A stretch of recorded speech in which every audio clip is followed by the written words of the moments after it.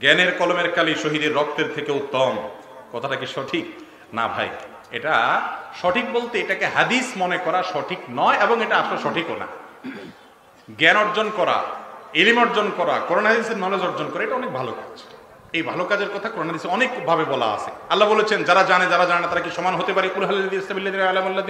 লা আল্লাহ তালা জ্ঞানের ব্যাপারে এলিম অর্জন করার অনেক গুরুত্ব আরোপ করেছে। ইসলামের প্রথম নির্দেশে ইকরা, পড়ো। কিন্তু এর মানে এই না যে বানোয়াট কথা বলতে হবে। এলেম শিক্ষার জন্য সুদূর চীন দেশে হইলেও যাও। আল হাদিস। না, এটা জাল হাদিস। আবার জ্ঞানের কলমে, জ্ঞানীর কলমের কালি, শহীদের রক্তর চেয়ে উত্তম। আল হাদিস। না, এটা জাল হাদিস। এরকম অনেক জাল হাদিস আমরা কি বলি? আল হাদিস বলি। ফেসবুকে বেশিরভাগ এরকম আলতু ফালতু কথা বা আপনার আনঅথেন্টিক অনির্ভরযোগ্য কথা এগুলোর নিজ দিয়ে দেখবেন লেখা আছে, আল হাদিস। এই আল হাদিস দেখলে বেশিরভাগ ক্ষেত্রে আমার মনে হয় এটা জাল হাদিস। কারণ কোনো হাদিস থাকলে সেটা রেফারেন্স থাকবে। বুখারি, মুসলিম, এত নম্বর হাদিস, অমুক নম্বর পৃষ্ঠা। এখানে কিচ্ছু নাই, শুধু আল হাদিস লেখা। এগুলো বেশিরভাগ ক্ষেত্রে কি হয়? জাল হাদিস হয়। তাফসিল কোরআন মাহফিল অতিরিক্ত হাসা হাসি বা মজা করা একজন বক্তার জন্য কতটুকু বৈধ? মোটেও ভালো কাজ না। পুরো আলোচনা জুড়ে আপনি ভাড়ামো করলেন, কৌতুক করলেন, হাসাহাসি করলেন, তামাশা করলেন, ফাইজলামি করলেন। ওয়াজ মাহফিল, তাফসির মাহফিল ফাইজলামির জায়গা না।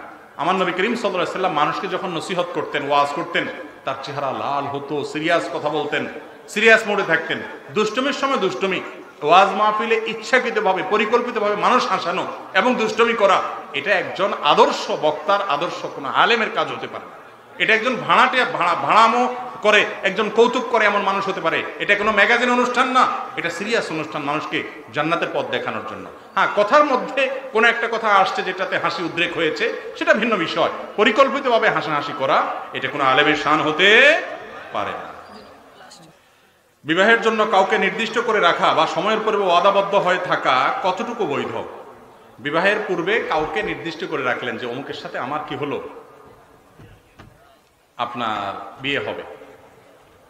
যেটা আমাদের দেশে বলে এঙ্গেজ না? এঙ্গেজ করে রাখা। এটা যদি এমন হয় যে ঠিক আছে আগ্ধ অনুষ্ঠানটা নিকট ভবিষ্যতে হবে, ঠিকঠাক হবে, এর মধ্যে কোনো ইটিস পিটিস হবে না, কোনো যোগাযোগ হবে না, হারাম কোনো সম্পর্ক হবে না আজে বাজে কোনো আলাপ সালাপ হবে না, যার যার মতো শেষে সেট হয়ে থাকল, এটা জায়েজ আছে নির্দিষ্ট সময়ের জন্য। কিন্তু যেটা হয়, এই জাতীয় এঙ্গেজের মাধ্যমে হারাম সম্পর্কের রাস্তা করলে আগ্ধ অনুষ্ঠান হওয়ার আগ পর্যন্ত, বিবাহের প্রস্তাব এবং কবুল হওয়ার আগ পর্যন্ত কি হয় না তারা স্বামী স্ত্রী হয় না। যার কারণে স্বামী স্ত্রী সুলভ যদি যোগাযোগ করে, সেটা কি হবে না? জায়েজ হবে না।